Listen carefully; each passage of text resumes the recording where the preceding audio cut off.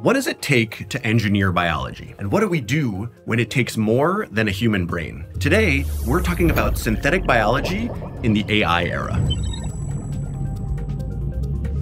If you spend any time in the world of SynBio, there's a phrase you're going to hear. What I cannot create, I do not understand. It comes to us from Richard Feynman, who had it on his blackboard at Caltech in a famous photograph from 1988. Feynman's phrase has been adopted as a kind of motto for the field of synthetic biology and as an argument for approaching biotech R&D like an engineering problem. Creating and understanding work together as two halves of the engineering design cycle. We have to understand biology in order to create new medicines or new sustainable bioproducts. That work of creating things raises new questions and improves our understanding.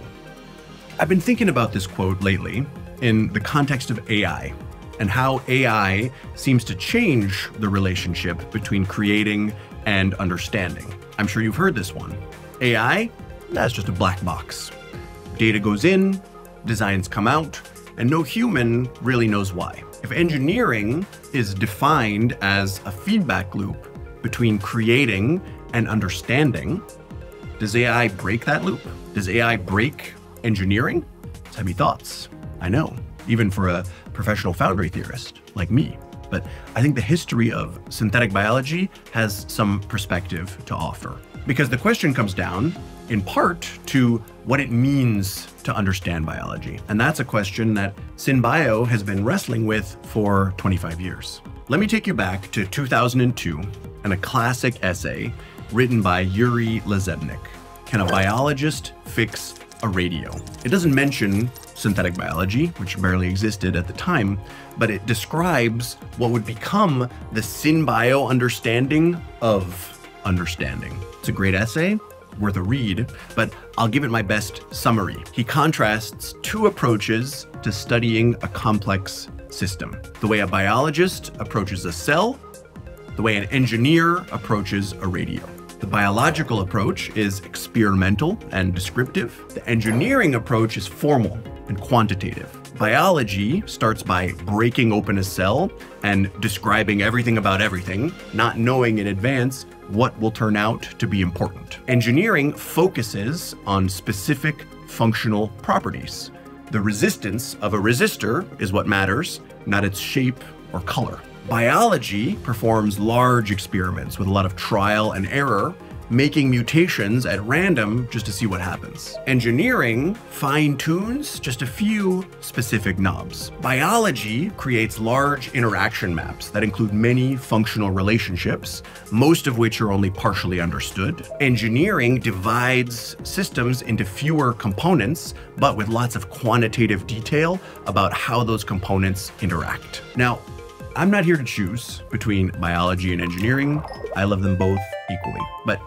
Can a Biologist Fix a Radio was written at a time when very few biologists were even thinking about engineering. It makes a number of strong points in favor of the engineering approach, but one in particular focuses on the way it supports understanding. This is what sold me on synthetic biology early in my career, it goes like this. Once the number of components in a system reaches a certain threshold, understanding the system without formal analytical tools requires geniuses, who are so rare even outside biology. In engineering, the scarcity of geniuses is compensated, at least in part, by a formal language that successfully unites the efforts of many individuals. Well, my friends, I am not a genius. So that quote perfectly describes what I need to understand biology. I need models that break down a complex system into smaller components that fit in my brain. I need models written in a shared language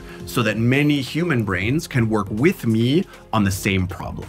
In other words, understanding is made possible when our representations are modular and collaborative. Bringing this back to the question of AI breaking engineering, it will depend I think, on how good we are at building AI models that are modular and collaborative to support understanding for human brains like mine. In the history of synthetic biology, our models have mostly been written in calculus, using the same mathematical tools that engineers use to understand radios. But cells aren't radios. And calculus isn't the only modeling language that humans can understand. It won't be easy for us humans. Classical engineering takes years of practice, and AI guided engineering will be the same, but the payoff will be a faster and more robust engineering design cycle. AI models can be the right tool for understanding biology, and like Feynman might have said, what I can understand, I can create.